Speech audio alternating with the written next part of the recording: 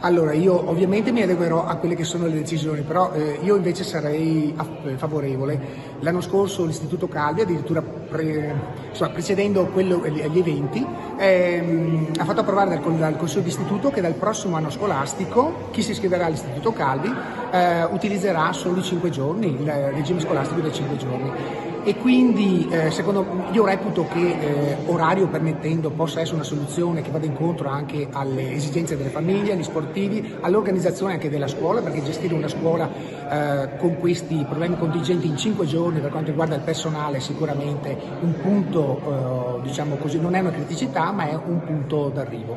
E a livello didattico invece non, potrebbero esserci delle problematiche, per esempio gli alunni che tornano a casa troppo tardi piuttosto che orari impegnativi? Allora, il, ci potrebbero essere due criticità, una eh, relativa al numero di ore, ossia eh, al numero di, di, di ore che i ragazzi vanno a scuola non è un problema che tocca i licei, che tocca magari gli istituti tecnici, magari tocca altre realtà, i professionali o eh, i licei artistici dove il numero di ore è senz'altro maggiore, oppure può toccare marginalmente chi abita eh, veramente distante, ma se l'utenza è di prossimità eh, penso che sia un, un, un, vantaggio secondo me. E secondo lei il, il risparmio vale la chiusura? Eh, io credo che per motivi organizzativi, secondo me sì, eh, ci sono già altre scuole che eh, eh sono andate verso questa tendenza e nessuno è tornato indietro, probabilmente è una, una misura organizzativa che è vincente.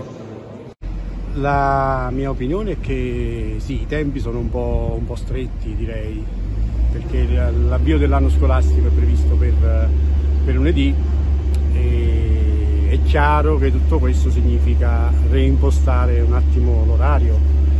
Poi per l'esperienza che abbiamo avuto nel periodo del Covid, i ragazzi noi l'anno scorso abbiamo fatto orari scaglionati, quindi un gruppo di studenti entrava più tardi per evitare assembramenti all'ingresso, ma l'uscita posticipata di un'ora complicava molto il rientro a casa.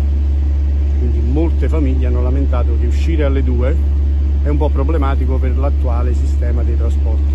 Fare 30 ore settimanali, il nostro orario è quello per il triennio, in 5 giorni lavorativi significherebbe fare tutti i giorni 6 ore, quindi uscite a ridosso delle 14. È un aspetto da, di cui tener conto anche per il rientro a casa sì, forse anche però dei ragazzi.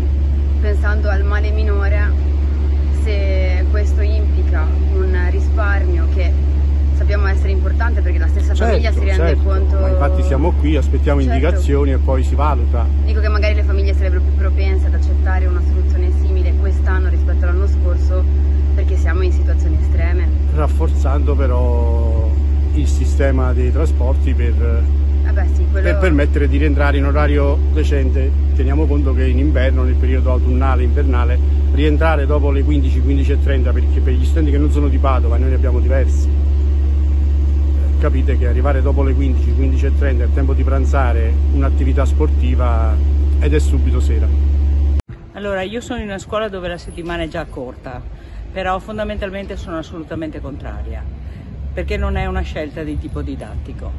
Tant'è vero che l'indicazione che ho visto dagli istituti, dai licei e da altre scuole del genere eh, prediligono l'aspetto didattico dal mio punto di vista, più eh. corretto è emerso che effettivamente sono in molti i dirigenti a essere contrari a questa cosa, molti anche preoccupati dal fatto che il termine delle elezioni poi implica un, un effetto domino che eh, diventa impegnativo per, per, i ragazzi ma per gli stessi professori.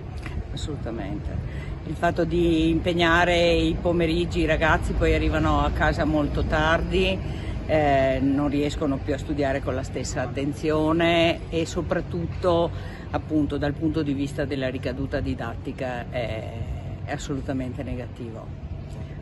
Per quanto riguarda eh, la, la, scelta, eh, secondo lei il risparmio sarebbe tale da eh, magari far cambiare idea ad alcuni oppure no?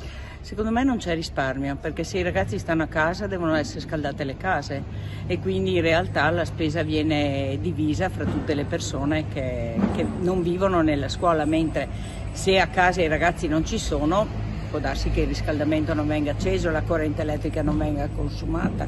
Io non sono dell'idea che ci sia un risparmio che ci debba essere una maggiore attenzione alla coibentazione degli edifici, ai risparmi della eh, temperatura delle caldaie, alla variazione climatica, questo sì, questo sarebbe un vero risparmio, non un giorno a casa e la spesa si rivolta alle famiglie.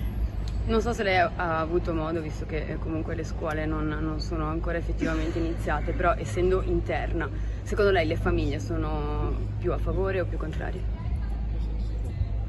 Io penso che molte famiglie potrebbero essere favorevoli perché è una scelta di tipo sociale, quindi avere il ragazzo a casa il sabato ti permette di gestirti il weekend dal venerdì pomeriggio anche, ma non è una scelta di tutte le famiglie.